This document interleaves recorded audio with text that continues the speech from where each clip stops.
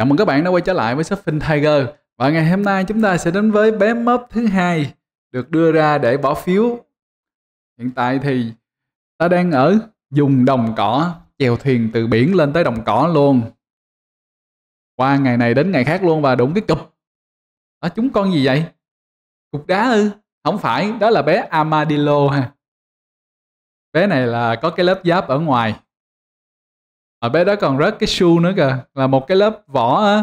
Thì cái lớp vỏ đó sẽ được sử dụng để chế tạo wolf armor là cái bộ áo giáp dành cho mấy con sói. Thì chúng ta đã có horse armor rồi thì bây giờ sẽ có thêm wolf armor nữa. Và nhìn dễ thương ghê luôn á. Hy vọng không có cần phải hạ gục thì mới lấy được cái vỏ bên ngoài ha. Hạ gục thì uh, thật là tội nghiệp luôn. Ờ, và các bạn có thể bỏ phiếu từ ngày 13 tháng 10 và ngày 15 tháng 10 sẽ là Minecraft Live.